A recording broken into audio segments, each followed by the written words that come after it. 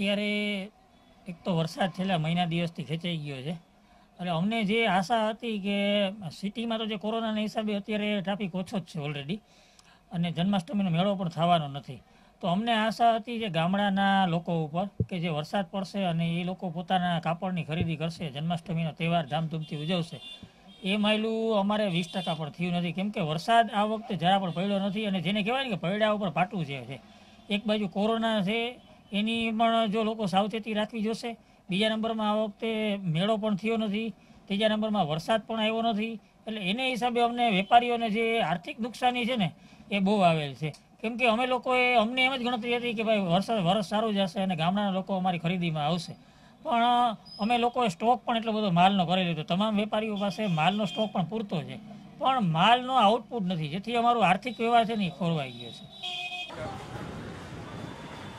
क्या कॉल है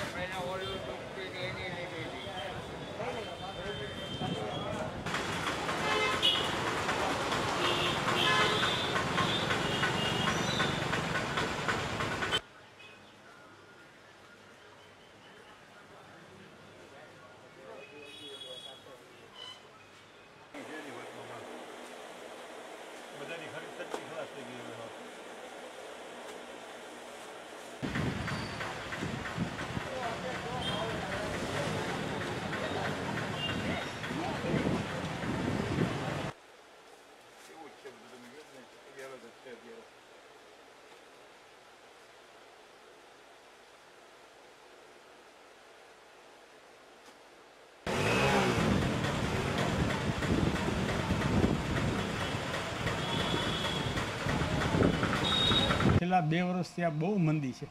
સખત મંદી છે. એક કોરોનાની ઇફેક્ટ એક વરસાદ, એક બહારથી એનઆરઆઈ માણસો આવતા નથી.